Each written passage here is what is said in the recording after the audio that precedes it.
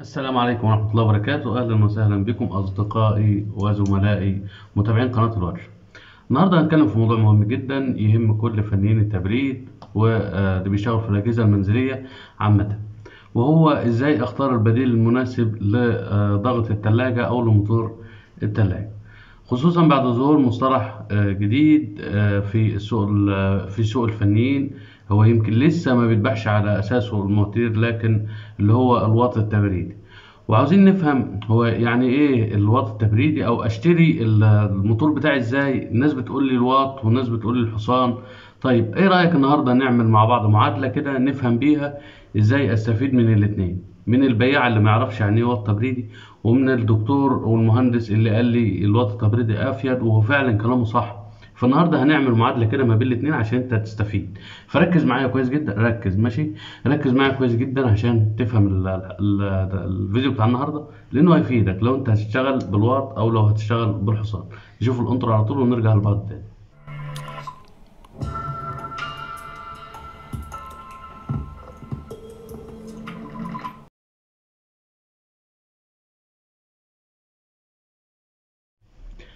طيب أهلا بكم تاني.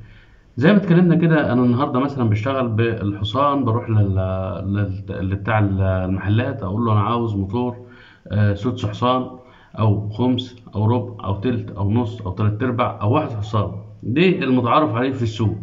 لكن آه رجع الناس اللي بتشتغل في المجال واللي عندهم خبرة واللي, واللي دارسين المجال كويس وهم الأصح قالوا لا إحنا المفروض ما نشتغلش بالحصان إحنا المفروض نشتغل بالواط التبريد. طيب يا جماعة طيب إحنا مشكلة عندنا مشكلة دلوقتي. أنا لما بروح أشتري من بتاع المحل ما بيعرفش يعني إيه واط تبريد فيقول لك لا ما أنت تتصرف بقى. تتصرف إزاي؟ ادخل على الموقع واعرف الواط الكام وابدأ بقى تي هات الموتور عليه طب ما هو ده مش نافع مش أنا مش عارف. طيب فأنا هقول لك النهارده تعمل إيه عشان تحل الموضوع المعضل ده ويدي معاك أفضل نتيجة. في الحقيقة في الأول كده حابب أقول لكم على حاجة الموتور الواحد على عشرة اللي هو بيركب في مبرد المياه اللي هو الصغير ده بيكون أربعة وسبعين واط تبريد. أما الموتور التم فده بيكون اتنين وتسعين واط تبريد. الموتور السدس بيكون مية تلاتة وعشرين واط تبريد. الخمس بيكون مية سبعة وأربعين واط تبريد. أما الربع بيكون مية أربعة وتمانين واط تبريد. الضغط التلت اللي هو الموتور يعني التلت بيكون 245 واط تبريد أما النص بيكون 368 واط تبريد أما التلات ارباع 552 واط تبريد الواحد حصان بيكون 734 واط تبريدي تقريبا. الله ما شاء الله عليه يعني أنا حافظ الكلام ده طبعا مش شغلي لازم أحفظه. طيب دلوقتي أنا عاوز أفهم منك حاجة أنا عاوز موتور سدس حصان أعمل إيه عشان أعرف أجيب زيه بالظبط؟ خصوصا إن الماركة بتاع التلاجة دي الموتور أنا مش هلاقيه في السوق. يعني هنفترض إنك أنت رحت التلاجة لقيت الضغط اللي فيها باناسونيك. ماشي؟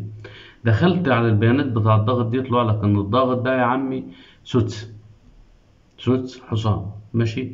طيب وفي نقطة تاني. أنت عاوز تركب تعرف الواط التبريدي بتاع الضغط ده هتدخل برضه في نفس المكان في الكتالوج هتعرف هو كام واط. فمثلا هيقول لي هو 130 واط تبريد. 130 واط تبريد مثلا.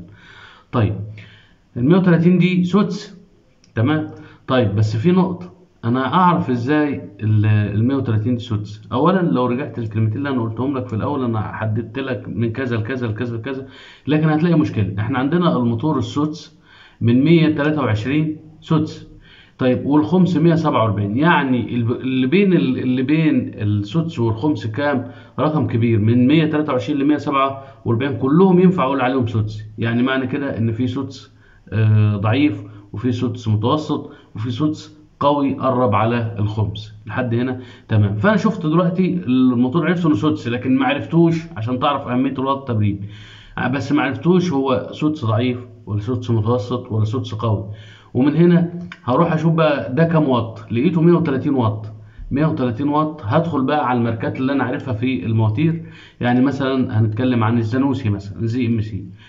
الزي إم سي مثلا ال 60 مثلا ال 60 مثلا 140 واط. يبقى ده أقرب حاجة أقرب حاجة للي أنا عاوزها. طب في حاجة تاني؟ 136 واط. يبقى هي أقرب منه.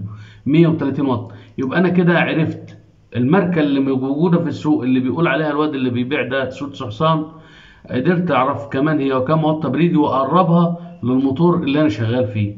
وبالتالي ما بقاش عندي مشكلة. فأنا كده أقدر أعمل لنفسي جدول أقول الموتور ال ZMC مثلا ال 60 كذا واط وكذا حصان. لما هروح لموتور باناسونيك أو موتور نوعية أنا ما أعرفهاش هعمل إيه؟ هعرف هي كام حصان وهعرف هي كام واط بالظبط. عشان أجيب أقرب حاجة ليها في الواط التبريدي في المواتير اللي موجودة قدام.